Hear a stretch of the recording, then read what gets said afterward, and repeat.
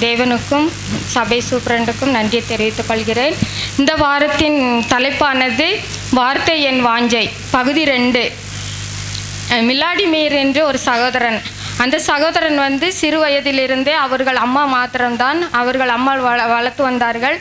அப்பொழுது பதிமூன்று வயது ஆன போது அவனுக்கு வேதாகமம் வாங்குவதற்கு ஆசை அதிகமாக இருந்தது. ஆனால் அவனுக்கு பண வசதி எதுவுமே இல்லை. ஆனாலும் அவன் இரண்டு வாரமாக பட்னியாக இருந்து அந்த ப வேதாகமத்தை வாங்குவதற்காக பட்னி இருந்து அவன் வாங்கி கொண்டான். அதை எப்பொழுதும் படித்து கொண்டே இருந்து கொண்டே இருந்தான். அப்பொழுது நம்மளது ஏழாம் நாள் சபையில் அவன் ஞானஸ்தானம் எடுத்தான். அவன் படித்து கொண்டிருக்கும் பள்ளியில் வந்து அதை பற்றி தெரிந்து விட்டது. வேற ஒரு சபைக்கு அவன் மாறிவிட்டான். அதுவும் பிடிக்காத சபை என்று சொல்லி அவன் வா மாறினால் தலைமை ஆசிரியர் வந்து அவனை வெளியேற்றும்படியாக எல்லோரிடத்திலும் சொல்லிவிட்டார்கள். உடனே வெளியேற்றி விட்டார்கள். அப்பொழுது வெளியேற்றப்பட்ட பின்னர் நம்மளது ஏழாம் நாள் சபையில் அவனுக்கு மறுபடியும் படிப்பதற்கு வாய்ப்பு கிடைத்தது. உடனே அவன் மறுபடியும் நுழைவுத் தேர்வு எழுதி கொண்டான். அதில் தேர்ச்சி அடையவில்லை. நான் எவ்வளவு கஷ்டப்பட்டு படித்தும் நான் தேர்ச்சி அடையவில்லையே என்று அவனுக்கு அதிக வருத்தமாக இருந்தது. அப்பொழுது மறுபடியும் ஒரு பாதுகாப்பு சேவை என்று ஒரு வேலை கிடைத்தது. அவனுக்கு அப்போ அங்கு வேலை செய்தான். நல்ல அதிகம் சம்பளத்தில் தான் வேலை கிடைத்தது. உற்சாகமாக அந்த வேலையை செய்து வந்தான். மறுபடியும் அவனுக்கு வேறு இடத்தில் மாற்றம் ஏற்பட்டது. அந்த இடத்திலும் போய் நல்ல பல வியாபார தலைமையாளராக அங்கு ஒரு வேலை செய்து வந்தான்.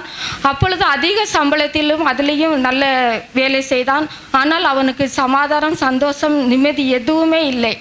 அப்பொழுது அவன் என்ன பண்ணுறது நம்ம பதினாறு மணி நேரம் வேலை செய்வோமா? அப்போமாவது நம்மளுக்கு நிம்மதி கிடைக்குமா? என்று பதினாறு மணி நேரம் போய் வேலை செய்து கொண்டான்.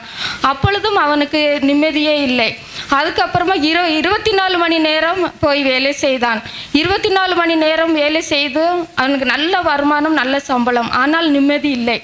அப்பொழுது அவன் என்ன செய்தான் என்றால் உடனே ஜெபம் பண்ணினான் கடவுளை நான் இவ்வளவு சம்பாதித்தும் எனக்கு என்ன நிம்மதி கிடைக்கிறது? நான் எதற்கு இப்படி சம்பாதிக்க வேண்டும் என்று ஜெபம் பண்ணினான் உடனே அந்த அந்த உடனே அவனுக்கு மறுபடி படிக்கக்கூடிய வாய்ப்பு கிடைத்தது.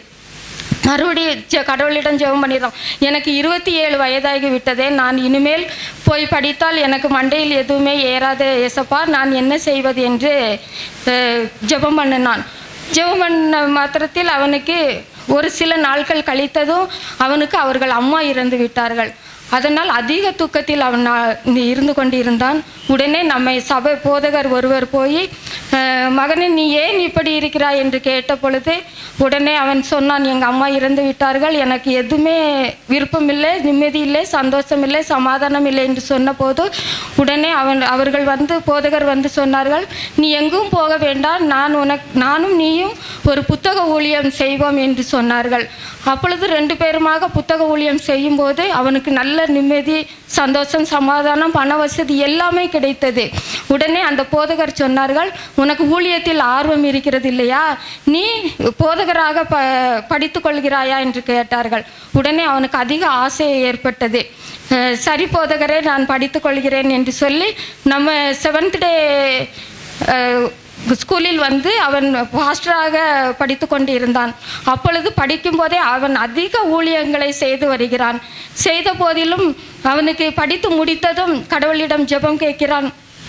கடவுளே நான் இவ்வளவு தூரம் நான் படித்துட்டேன். எனக்கு உண்மை பற்றி அதிகம் நான் எல்லோரிடமும் சத்தியத்தை சொல்லும்படியாக நான் கேட்குறேன். அப்பான்னு ஜெபம் பண்ணும்போது அவனுக்கு ஐம்பத்தி நாலாம் ஏசையா ஐம்பத்தி நாலாம் அதிகாரம் ப பதிமூணு பதினாலு பதினேழாம் வசனம் அவனுக்கு ரொம்ப பிரயோஜனமாக இருந்தது. அது அதன் மூலமாக நான் வெக்கப்பட்டு போகவே மாட்டேனா என்று சொல்லி ஜெபம் பண்ணினான். உடனே அந்த ஊழியம் அவன் அதிக மக்களுக்கு நல்ல சத்தியத்தை எடுத்து சொல்கிறான். அதன்படியாக அவனுக்கு புதிய ஏற்பாட்டை பற்றி அதிகம் தெரிந்து கொள்வதற்கு ஒரு கிரேக்க மொழி பாஷையை கற்று வருகிறான். அந்த மொழியின் மூலமாக சத்தியத்தை எடுத்து உரைக்க அவன் ரொம்ப ஆசைப்பட்டு கொண்டிருக்கிறான். அதற்கு நம்ம எல்லாரும் ஜெபிக்கும்படியாக கேட்கிறார்கள். ஆயிரத்தி தொள்ளாயிரத்தி தொண்ணூற்றி ஒன்பதாம் ஆண்டிலிருந்து அந்த உக்ரைன் அந்த ஊரிலிருந்து ஒரு சபை நல்ல ஆரம்பித்து நல்ல வளர்ந்து கொண்டு வருகிறது. அதற்காக நம்மளுடைய காணிக்கை அதிக அதிகமாக கேட்டுக்கொள்கிறார்கள். ஆமேன்.